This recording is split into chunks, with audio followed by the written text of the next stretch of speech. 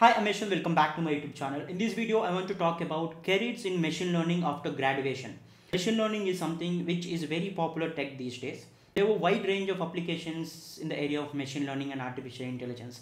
Be it security, be it healthcare, be it defense, be it automobile, self-driving cars, be it robotics, everywhere. Machine learning is everywhere and machine learning is the future. If you don't know what machine learning is, it's all about predicting future based on what happened in the past able to tell everything based on the past data and this is the beauty of machine learning.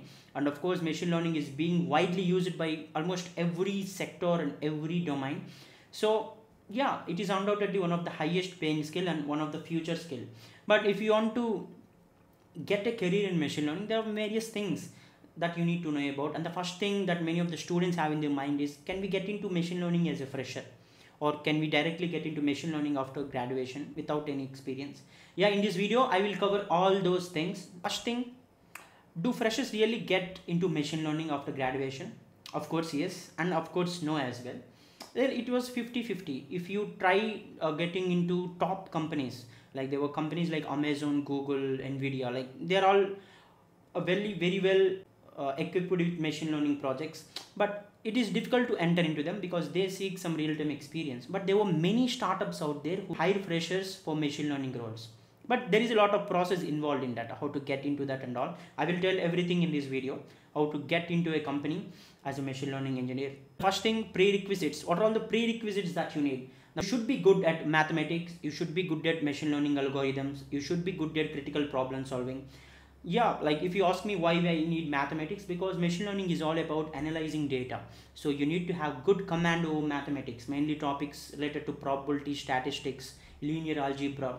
Because these are very important in uh, machine learning. Every in every machine learning projects like some mathematics involved. So you need to be good at mathematics. Without mathematics knowledge you cannot get into that. You cannot become successful in machine learning. So so make sure you are good in mathematics. And the other thing you should be good at all the machine learning algorithms you need to know about them. And you also need to be good at uh, critical problem solving like having a knowledge on data structures and algorithms in a single programming language would be fine. And apart from that you need to have a good portfolio. So that is very important. Uh, you can register in register an account in kaggle and create a github account. In kaggle like there were many competitions which were regularly taking place. Participate in all those competitions. Try your luck so that you can build a portfolio. It is easy to showcase to the recruiters that yet i'm good in machine learning. I, I participated in so and so uh, hackathons and uh, i can say machine learning competitions. This is my expertise. And even in the github like whatever you have learned in machine learning create a project on that. Create a project with every algorithm. Create multiple projects as many as possible because the more that you work the more knowledge that you will get. And upload all those projects in github. So so that you can directly share with recruiters and show that like your skill you are capable to uh, deal with machine learning projects this is very much important. Without projects you there is no way that you will get into a machine learning role. Thing is internships. Of course for other roles it is fine to uh, not have an internship but for machine learning roles it is important to have a machine learning internship. So like if you if you build a portfolio if you learn things then ultimately you can directly go to sites like linkedin and search for machine learning interns then you will find a lot of jobs lot of internships and some will be paid and some will be free. Like apply for them and write to them that i'm good in so and so uh, this is my portfolio i have done so and so projects. Then if they really like your work you will be hired. At least do one to two internships. Uh, it might be free or paid it doesn't matter but do that. Like again like internship is not about training. If you pay something and learn something it is not an internship. Make sure you have some work there.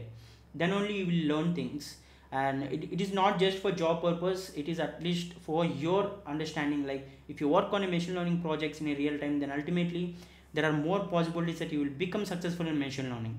Once you're done with the internships and all like you once you're done with graduation you need to apply for jobs. No one will i can say like no one will come to you and hire you. It, it is not like other roles like uh, companies will come for on campus or off campus drives and hire you. It is not how it works. You need to apply in linkedin and other portals like angel list naukri etc because there were many startups who will hire for machine learning roles. So if you are good with all those stuff that i have spoken earlier and if you already done internships then it is easy for you get into that. And sometimes the best possibility is like if you have already done an internship and if your performance is good like they will hire you for full-time roles as well. So it is important to do an internship and searching for jobs by your own these are all the things for a fresher but what like if you're already working in an it company and if you want to switch to machine learning roles you need to follow the same stuff again um, but you don't need to have an internship because you are experienced in IT and if you know all these things and if you have built various machine learning projects and have a portfolio ready then you can directly apply to startups and uh, big chains and showcase that yeah you're good in machine learning you know all this stuff and because you already have some experience working in project environment then yeah there are more chances that you will become high but make sure you follow all the things that i have spoken in this video. Yeah this is an overview of how to get into machine learning after graduation. I hope you find it insightful. Please like this video and share it in your network. Also if you're a new visitor to my channel please subscribe to my channel. Thank you